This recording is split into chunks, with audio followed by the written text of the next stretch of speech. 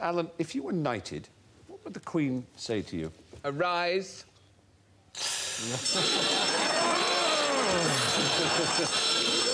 No, no, she wouldn't. Are you sure she doesn't say, no, I'm sorry, I have to draw the line somewhere?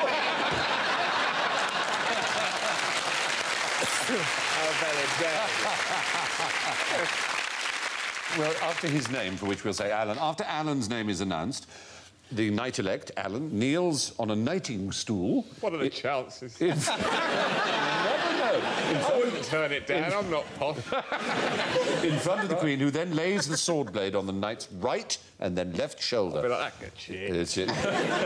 After he has been dubbed, the new knight stands up. Contrary to popular belief, the words "Arise, sir," dot dot dot are not used. The Queen then invests the knight with the insignia of the order to which he has been appointed, a star or badge, depending on the order. By tradition, clergy receiving a knighthood. What's the difference when clergy are knighted, if they happen to be? They kneel on a corgi.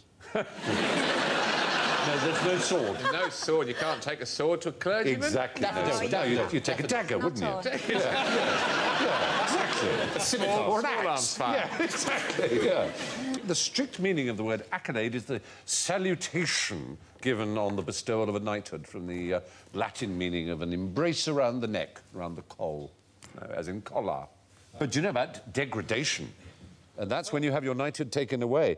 The last public one was in 1621 when Sir Francis Michell was found guilty of grievous exactions and had his spurs broken and thrown away, his belt cut, and his sword broken over his head, and was then pronounced to be no longer a knight, but a knave.